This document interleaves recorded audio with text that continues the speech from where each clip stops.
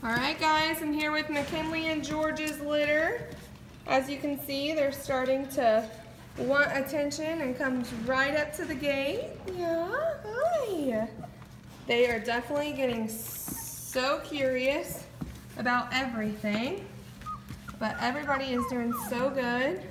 These guys are really starting to play around and adventure around with mom a little bit. I would say here in the next week they're gonna start uh, going outside,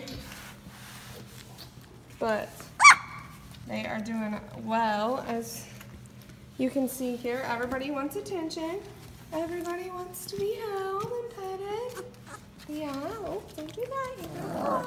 But they're doing great. McKinley, say hi. She's doing good too. Oh, see, you can see their little attitudes already.